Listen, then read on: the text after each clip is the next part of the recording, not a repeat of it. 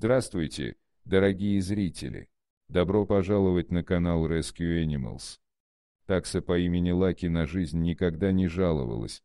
У нее был замечательный хозяин, который любил ее и вдоволь кормил. К тому же она была охотничьей собакой и часто вместе с хозяином выезжала в лес. В одну из таких поездок пес отбился от охотников и потерялся в чаще.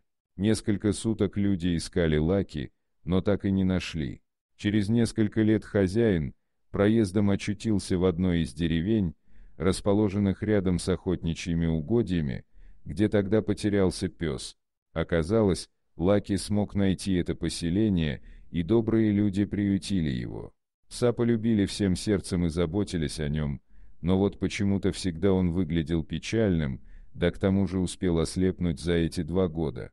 Когда старый хозяин пришел во двор, где жил Лаки, то пес почуял его и сразу поменялся на глазах. Таким радостным питомец не был даже тогда, когда его приютили пару лет назад. Любовь не забывается никогда. Спасибо за просмотр, подписывайтесь на канал, где вы найдете еще много интересного, а также ставьте лайки и пишите комментарии, что думаете по поводу этой истории.